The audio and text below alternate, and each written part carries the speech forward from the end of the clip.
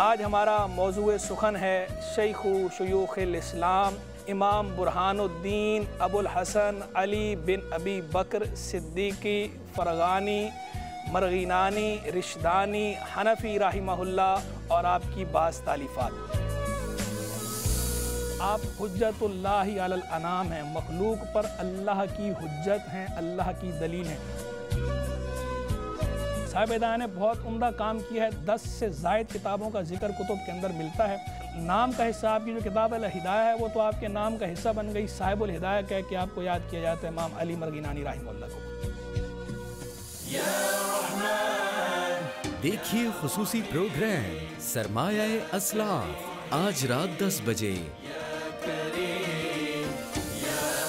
सिर्फ़ A R Y Q TV पर।